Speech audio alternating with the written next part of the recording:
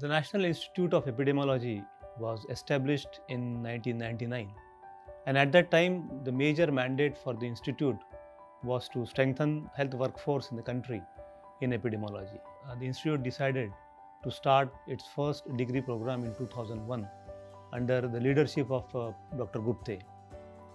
Then in 2008 we started another course which is called as Masters in Public Health and in 2011 we merged these two courses into one course which is a Masters in Public Health in Applied Epidemiology and Health Systems. These courses are primarily made for uh, medical officers working in state health department. This institute doesn't charge any fees uh, for the candidates who are sponsored by the state health department. These courses are competency based courses and at the end of this course uh, the students uh, acquire these competencies. There are seven core competencies, including mastering the concepts and principles of epidemiology, public health surveillance, outbreak investigations, conducting public health research with an ethical perspective, comprehending the biological, social, behavioral, and environmental determinants of health, communicating science to both lay and professional audience, and uh, to be able to design, implement, and evaluate public health interventions. These competencies are delivered during the two years program. We have initiated two new training programs in the year 2018. A National Institute of Epidemiology is the South Hub for India EIS program, which aims to build capacity of program managers for outbreak investigations, infectious disease surveillance, and implementation science. Over the years, the disease landscape is changing in India and we know that now non-communicable diseases account for majority of the disease burden across the country.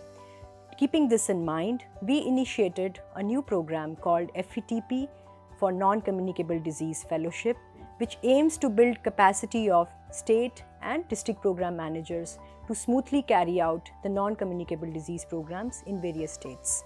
One of the things which we have learned over years is that the professionals who seek admission in our courses they face difficulty in getting two-year continuous study leave. Keeping this in mind, the new programs that we have structured are part-time programs. They require our doctors to spend only 14 weeks on campus and rest of the time they can do field projects in their own places of posting. While they are in the field, we support them by one-to-one -one mentoring and also by weekly seminars which provide them an opportunity to share the work they are doing and also to cover some of the com components of curriculum. We do have a three-tier mentoring system to make sure learning takes place while doing or by doing. The first level of mentoring is from that of the line manager or supervisory authority of the FETP scholar in the health system. This mentor will guide and facilitate identifying and aligning the health system priorities with that of the FETP deliverables. Second level of mentoring is by an FETP graduate. As an alumni of the FETP program, she or he will be able to connect with the FETP deliverables and therefore match the expectations with that of the real life situation. Third is a mentor and co-mentor combination available from the faculty pool at the school. Faculty mentor is from the School of Public Health and facilitates the transformation of the academic learning to real life field-based projects and thereby helps in the acquisition of competencies. We believe our FETP program is different and exceptional. It is very gratifying to be a faculty of our FETP program because we not just uh, improve their capacity as a knowledge, we improve their capacity as a skill set.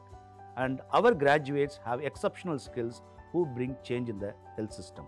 That's why our research, implementation research, actually identify the solutions from the grassroots problems and it is not just addresses the priorities. As our students are not only students, but they are public health professionals with lot of field experience and therefore they keep us grounded in the reality. Classroom itself is very unique because people come here from all over India and bring diverse perspectives.